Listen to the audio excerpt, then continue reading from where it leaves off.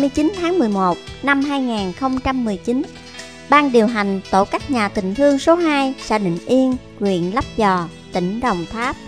đã long trọng tổ chức lễ tổng kết hoạt động năm 2019 và định hướng hoạt động năm 2020 với sự tham dự của đại diện chính quyền, các ban ngành, đoàn thể trong tỉnh Đồng Tháp, Ban trị sự Trung ương Giáo hội Phật giáo Hòa Hảo, Ban đại diện Phật giáo Hòa Hảo tỉnh, Ban trị sự Giáo hội Phật giáo Hòa Hảo xã, phường, thị trấn, tỉnh Đồng Tháp,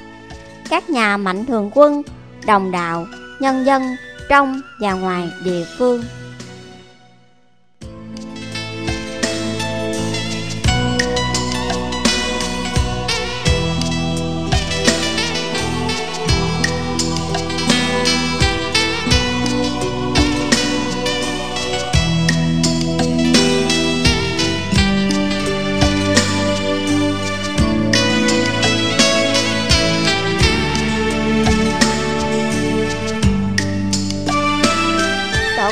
Tình thương số 2 xã Định Yên, huyện Lấp Giò, tỉnh Đồng Tháp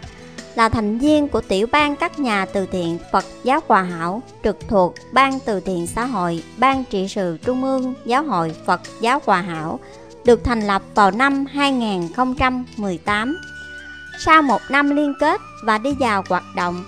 các tổ các nhà tình thương thành viên ngày càng được sự tín nhiệm của bà con nhân dân, đồng đạo, ủng hộ và xã hội đánh giá cao.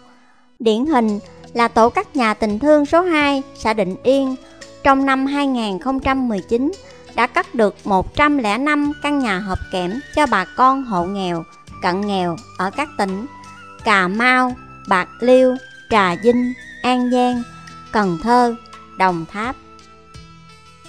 Hỗ trợ sửa chữa 5 căn nhà bị tốc mái và giúp xây dựng một trụ sở Ban trị sự Giáo hội Phật giáo Hòa Hảo xã Định Yên với tổng kinh phí hoạt động trong năm hơn 1 tỷ 925 triệu đồng.